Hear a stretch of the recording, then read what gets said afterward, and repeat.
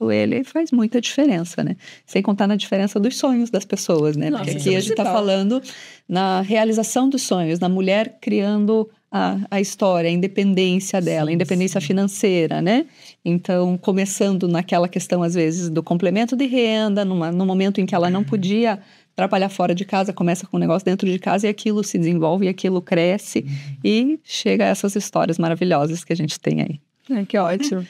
Você, é, a gente estava falando do caso da Beth, né? Às vezes quem está nos ouvindo, nos assistindo, fala assim, ai, mas o valor que eu preciso é tão, né? n- Não é um grande vulto, acho que eles não vão me atender.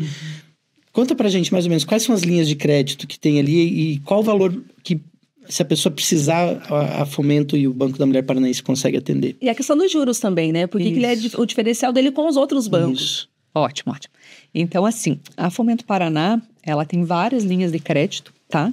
É, desde o microcrédito, que vai atender o MEI, a microempresa, até o informal, tá? Até a pessoa que exerça uma atividade empreendedora e que ainda esteja na informalidade, que nem tenha aberto o seu CNPJ ainda, pode ser contemplado com o valor inicial de microcrédito, tá?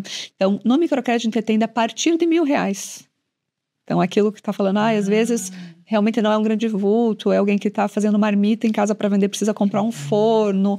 É, às vezes é algo realmente Uhum. o primeiro passo daquele negócio. A gente consegue atender o microcrédito a partir de mil reais até 20 mil reais. Esse é o valor de microcrédito. Ah, ou, o informal, ou a pessoa ali que está iniciando, ela tem um limite de até 5 mil reais de crédito para solicitar. Né? Então, obviamente, tem uma análise de crédito, vai precisar de questão de garantia, vai precisar atender alguns critérios, mas, como a Beth mesmo falou, quando você acredita na sua ideia, quando você tem aquilo organizado na sua cabeça, o que, que é o meu negócio, o que, que é o que eu vou fazer, o meu planejamento, e você chega demonstrando isso para a instituição financeira, fica mais fácil né, de você realmente conseguir esse crédito. Você chega demonstrando o que, que é o teu negócio, né? Então, esse planejamento, essa preparação com os cursos, com o plano de negócios é muito importante. O Banco da Mulher, né, voltando aqui na questão do programa, ele atende hoje micro e pequenas empresas com solicitações até 500 mil reais. Então, aqui a gente está falando de outras linhas além do microcrédito. está falando de linhas maiores para obra, reforma, eh, máquinas, equipamentos, veículos, eh, informatização.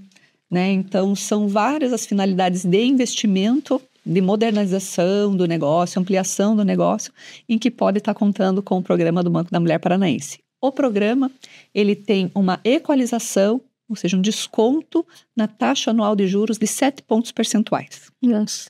No microcrédito, especificamente, existem dois pontos percentuais adicionais para os microempresários que apresentem o curso de capacitação, que no caso da legal. Beth foi o Bom Ah, Negócio Paraná. Então tem esse incentivo Tem esse ainda, incentivo. Então, pode chegar a 9 pontos percentuais de desconto, o que é muito expressivo. Muito expressivo, né? Chega a representar até 40% de desconto na taxa de juros mensal.